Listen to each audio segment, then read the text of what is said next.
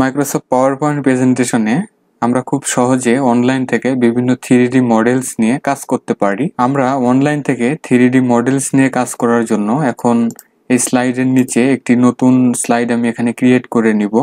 এজন্য এখানে স্লাইড দেখতে পাচ্ছি। এখান থেকে ব্লাং এটিকে সিলেক্ট করব।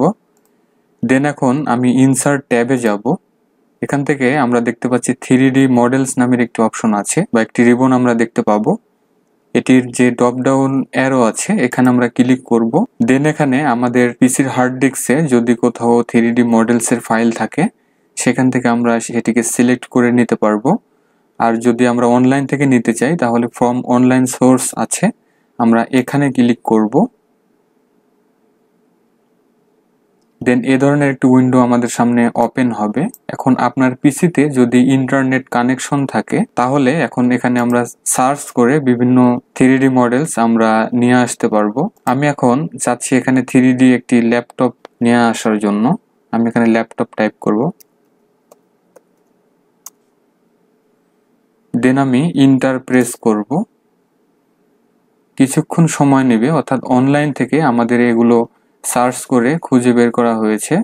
এখন এখানে অনেক ধরনের ল্যাপটপ আমরা দেখতে পাচ্ছি। সাপোজ ধরুন, আমি এই ল্যাপটপটি আমার স্লাইডে ইনসার্ট করব।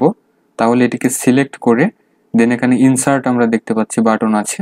এখানে আমরা ক্লিক করব। আমরা দেখতে পাচ্ছি ইনসার্টিং নামের একটি অপশন এখানে এসেছে।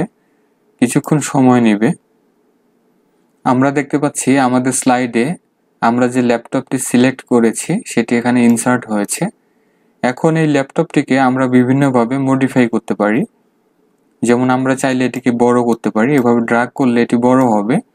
এবং আমরা দেখতে পাচ্ছি আমাদের ল্যাপটপের মাঝখানে এখানে একটি বাঁকানো দুটি অ্যারো আমরা দেখতে পাচ্ছি। এটির মাঝে আমরা যদি আমাদের মাউস নেই, তাহলে আমরা দেখতে পাচ্ছি আমাদের মাউসের যে পয়েন্টার আছে, এটি চেঞ্জ হয়েছে, একটি অ্যারো মার্কের মতো দেখা যাচ্ছে রাউন্ড অ্যারো এখন আমরা এটিকে ধরে আমরা যদি এটিকে বিভিন্ন দিকে মুভ করাই, তাহলে দেখতে পাচ্ছি এটি থ্রি আকারে মুভ হচ্ছে। দেখুন।